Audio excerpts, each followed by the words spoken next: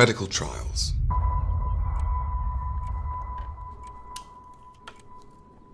Are you interested?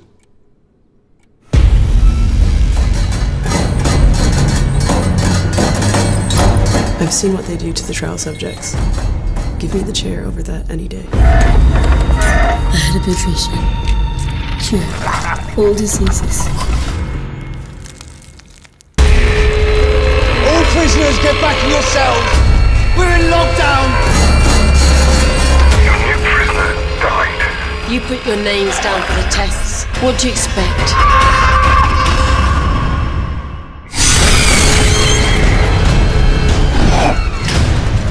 Who knows what that young man has just endured?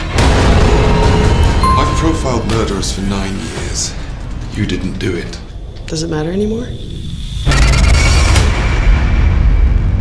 Good Lord grant you the gifts of the Holy Spirit.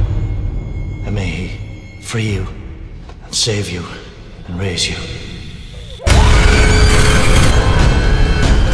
How do you resign yourself to death? Be sure to kill anything that isn't human. They're all human.